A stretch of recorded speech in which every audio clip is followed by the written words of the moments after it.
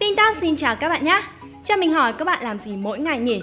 Chắc chắn đây là một câu hỏi khó đúng không? Bởi vì chúng ta làm ti tỉ thứ việc nhỏ nhặt không tên, đến nỗi mà chúng ta chẳng buồn quan tâm việc làm đó có đúng hay là sai.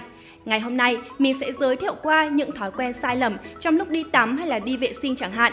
Nó sẽ âm thầm đánh cắp tuổi thọ của bạn, thậm chí là giết chết bạn ngay lúc đó. Không chần chừ gì nữa, hãy cùng Pintop điểm qua những thói quen vô hại mà hại không tưởng ngay sau đây nhé. Top 10 điều bạn làm sai mỗi ngày mà không hề nhận ra. Đọc sách báo xem điện thoại khi đi vệ sinh. Vừa đi vệ sinh vừa đọc báo hay là nghịch điện thoại có thể là thói quen quá đỗi quen thuộc lại vô cùng thư giãn đối với mỗi chúng ta.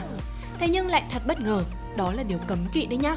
Do khi đi vệ sinh, tư tưởng ý thức đều tập trung hết vào sách báo hoặc điện thoại, từ đó gây ức chế ý thức bài tiết, làm rối loạn chỉ huy của não đối với việc dẫn truyền thần kinh bài tiết, kéo dài thời gian đại tiện. Và điều gì đến cũng phải đến, khi bạn ngồi bồn cầu quá là lâu, khiến tuần hoàn máu tĩnh mạch hoàng trậu bị cản trở, mạch máu giãn nở, dễ sinh bệnh trĩ. Thậm chí làm mất đi tính mẫn cảm của trực tràng đối với việc kích thích đại tiện, lâu dần sẽ gây táo bón, nghiêm trọng hơn nữa có thể dẫn tới ung thư đường ruột đấy. Ngoài ra, nếu như bạn bị táo bón thường xuyên, phần sót sẽ đè nén cơ thể trong thời gian dài. Như vậy sẽ dẫn tới máu ở tiền liệt tuyến của nam giới tắc nghẽn, làm bệnh viêm tiền liệt tuyến nghiêm trọng hơn. Ngồi lâu trên bồn cầu còn khiến não bộ bị thiếu máu tạm thời nữa đấy. Khi mà đứng dậy sẽ bị choáng váng, ngã quỵ. Đặc biệt là những người bị ốm lâu ngày, sức khỏe yếu, người cao tuổi. Khi đứng dậy lại càng dễ xảy ra sự cố hơn. Nên là khi đi vệ sinh, hãy tạm ngưng lại các hoạt động khác nhé. Hãy tập trung chủ yếu là đi mà thôi. Ngồi sai tư thế khi đi vệ sinh dù cuộc sống đã hiện đại hơn và chúng ta dùng toilet xịn sò hơn rồi, nhưng mà điều đó không có nghĩa là bạn biết cách đi vệ sinh đúng cách đâu nhé. Tư thế ngồi khi mà đi vệ sinh rất là quan trọng và rất nhiều người trong số chúng ta vẫn ngồi sai mà không hề hay biết đấy. Xem đây này. Theo các nhà nghiên cứu khi mà đi vệ sinh, cách tốt nhất là ngồi xổm hoặc là gập lưng. Tư thế này giúp cho hông có độ uốn lớn, giúp cho trực tràng càng thẳng và việc đi vệ sinh càng dễ dàng hơn. Tư thế ngồi vuông góc mà chúng ta hay ngồi không tốt bằng việc bạn ghê một chiếc ghế nhỏ ở dưới chân. Hơi nghiêng mình về phía trước tạo thành một góc 35 độ. Vậy cho mình hỏi, bạn nào đây đã ngồi đúng tư thế này? Chắc chắn là đếm trên đầu ngón tay cho mà xem. Không đóng nắp bồn cầu khi xả nước Khi bạn xả nước bồn cầu, các giọt nước nhỏ kèm hàng triệu vi khuẩn bắn vào không khí và có thể lan truyền các bệnh nhiễm trùng. Vi khuẩn có thể phát tán tới độ cao khoảng 2 mét, tính từ bệ bồn cầu và tồn tại trong thời gian đủ lâu để lan ra không khí của cả ngôi nhà. Vì vậy, hãy luôn đóng nắp bồn cầu khi mà xả nước để hạn chế sự phát tán của các vi khuẩn gây bệnh này nhé. Đừng vì một chút lười biếng mà để cho lỗ vi khuẩn này xâm chiếm đó nha. Rụi mắt liên tục bằng tay Đây đây, chắc chắn nhiều bạn đang coi video này sẽ phải giật mình vì đang bỏ tay lên mắt mà rụi. Dùng tay dụi mắt là thói quen khó bỏ của rất nhiều người. Đây là hành động cực kỳ nguy hiểm, có thể gây hỏng mắt đấy. Khi có vật lạ rơi vào mắt, nếu bạn dùng tay dụi nhiều, có khi còn làm vật lạ đó di chuyển sâu hơn vào bên trong mắt. Hơn nữa, việc dùng tay dụi mắt như thế vô tình tạo điều kiện cho vi khuẩn tấn công, gây viêm nhiễm cho khu vực nhạy cảm này. Thậm chí nặng hơn, có thể bị bong võng mạc gây mất thị lực vĩnh viễn nếu không điều trị kịp thời. Thói quen này còn khiến lông mi bị tổn thương nữa cơ, gãi rụng lung ta lung tung. Thay vì dùng tay dụi mắt, bạn nên dùng nước rửa tay để lấy ra một cách dễ dàng hoặc là chớp chớp nhiều lần cũng khá là hiệu quả đấy. Ho mà không che chắn cẩn thận Bạn vẫn được khuyên rằng mỗi khi ho hay là hắt hơi thì cần phải lấy tay che miệng hay là mũi lại phải không? Nhưng bạn có hay rằng thói quen này lại không hoàn toàn đúng đâu nhá. Lý do là vì khi bạn ho hay là hắt hơi, có từ 2.000 đến 5.000 tia nước nhỏ li ti được bắn ra từ miệng bạn mỗi giọt chứa trung bình 100.000 con vi khuẩn, tạo áp lực phóng ra với tốc độ khoảng 160 km/h.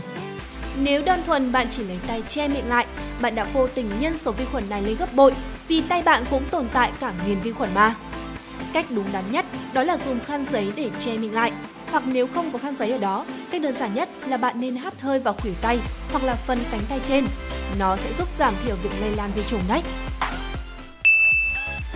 đeo ba lô túi sách chỉ ở một bên vai. Đeo ba lô một bên vai thì tiện hơn và đôi khi trông cũng ngầu hơn nhưng rất là hại xương sống đấy. Trọng lượng tác động lệch một bên có thể làm đau cổ, nhức vai và về lâu dài không tốt cho khung xương. Nếu vẫn muốn đeo ba lô một bên vai thì bạn nên đổi bên thường xuyên nhé. Ngoài ra, còn một bí kíp nữa là khi đeo ba lô, nên xếp các vật nặng ở dưới đáy, vật nhẹ ở bên trên. Như vậy khi đeo hay là tháo ba lô phần cổ sẽ ít chịu lực hơn. Ngồi bắt chéo chân quá lâu Chắc chắn cả trai hay là gái thì ai cũng đã từng ngồi bắt chéo chân rồi phải không? Bắt chéo chân là tư thế tự nhiên của rất nhiều người khi ngồi. Nhưng nếu giữ tư thế này quá lâu thì không hề tốt vì có thể làm giãn tĩnh mạch, tụ máu. Các cơ của hông cũng bị tác động xấu vì chịu lực nhiều. Tư thế ngồi hai chân song song vẫn được coi là lý tưởng hơn cả. Còn nếu vẫn ngồi bắt chéo chân thì bạn nhớ đừng ngồi quá lâu nhé. Nhịn đi tiểu Dám chắc là nhiều bạn ở đây đang nhịn đi tiểu để coi pin top đúng không? Đừng nên như vậy nhá, buồn là phải đi liền, không là hại thật đấy.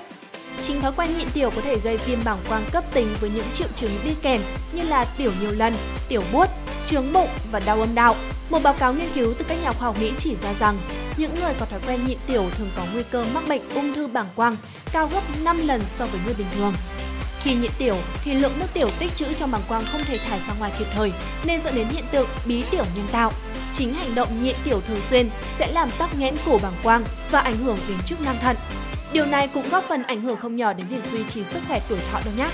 Vậy nên bỏ nhanh kẻo muộn các bạn nhé. Không rửa tay trước khi đi toilet Nghe thì có vẻ vô lý nhưng mà lại thật sự thuyết phục đấy. Bạn không chỉ cần rửa tay sau khi đi vệ sinh đâu, mà trước đó cũng phải rửa tay nữa. Thực tế là vi khuẩn không chỉ tồn tại trong toilet mà hiện diện ở mọi nơi trong nhà của bạn. Thậm chí toilet cũng không phải là nơi bẩn nhất trong ngôi nhà đâu. Điều này có nghĩa rằng nếu bạn chỉ rửa tay sau khi đi vệ sinh, vi khuẩn chắc chắn đã luôn tồn tại trên người của bạn. Và đến lúc hành sự trong toilet, chạm vào những bộ phận nhạy cảm, vi khuẩn có thể xâm nhập và gây ra những căn bệnh nguy hiểm. Bởi vậy mà, việc rửa tay trước khi đi toilet xét trên một vài mức độ thì còn quan trọng hơn là rửa sau đấy. Vừa đi vừa cúi đầu dùng điện thoại, đây chắc chắn là cảnh tượng cực kỳ quen thuộc trong đời sống hiện đại. Đi đâu cũng thấy người ta lăm lăm vào cái điện thoại mà không hề biết rằng xung quanh mình như thế nào. Điều này không chỉ dễ dàng gặp phải rủi ro đâm đầu vào đâu đó, vừa cúi đầu vừa đi có hại cho vùng cổ và lưng của bạn ở đấy. Dù đa số mọi người đều biết đây là thói quen không tốt, nhưng với những con nghiện smartphone thì không dễ mà từ bỏ đâu. Bạn có thể hạn chế tác hại của thói quen này bằng cách tránh đi giày cao gót khi mà đi lại vì giày cao gót chỉ làm vấn đề tồi tệ hơn rất nhiều mà thôi.